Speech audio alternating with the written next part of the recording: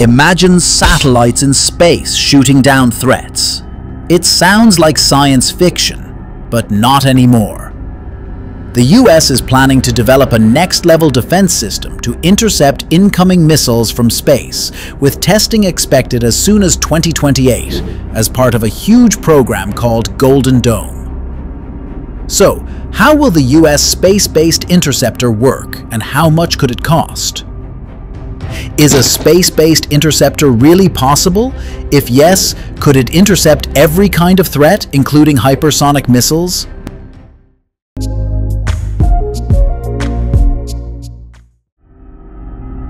Earlier in 2025, the US announced its plan to develop a space-based defense system called the Golden Dome, but it was not clear whether a space-based interceptor would be included.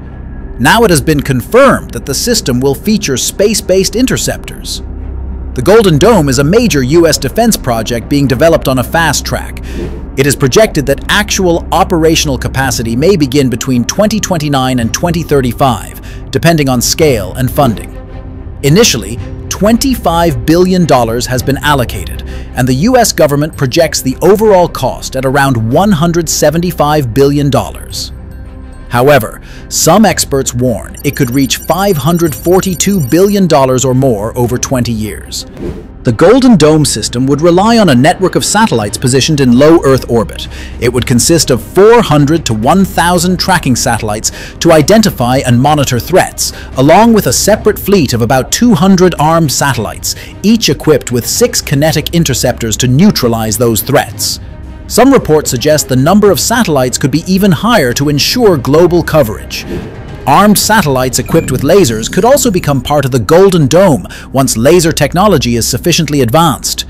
In short, the Golden Dome would be a system designed to evolve and expand over time, meaning its budget could increase multiple times beyond the initial estimates. The system would use advanced sensors, artificial intelligence, and rapid response propulsion to ensure minimal reaction time. There are multiple challenges ahead in developing the Golden Dome's space-based threat detectors and interceptors. The first challenge is its massive cost, as deploying and maintaining thousands of satellites in orbit would require enormous resources. Reloading armed satellites would also be expensive, and adversaries could attempt to overwhelm the system by launching large numbers of low-cost missiles. Technically, the system would require an extremely fast reaction time. Its goal is to intercept missiles during the boost phase, which lasts only 10 to 20 minutes. This means the system would need to respond and transfer data within milliseconds. Since the Golden Dome satellites would be in low Earth orbit, they would need frequent altitude adjustments to avoid orbital decay. Moreover, space-based interceptors would be vulnerable to anti-satellite weapons, and the loss of even a few satellites could impact the entire system's effectiveness. Now, let's look at its main goal. Can it stop every threat, including hypersonic weapons? The recent development of hypersonic missiles by Russia and China poses a serious risk to the US, as its current defense systems cannot intercept them. Hypersonic missiles travel at more than five times the speed of sound and maneuver unpredictably, making them extremely difficult to intercept.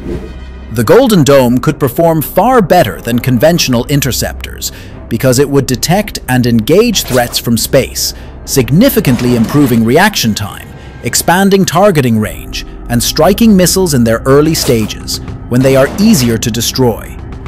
However, experts emphasize that no defense system, including the Golden Dome, can block every single missile.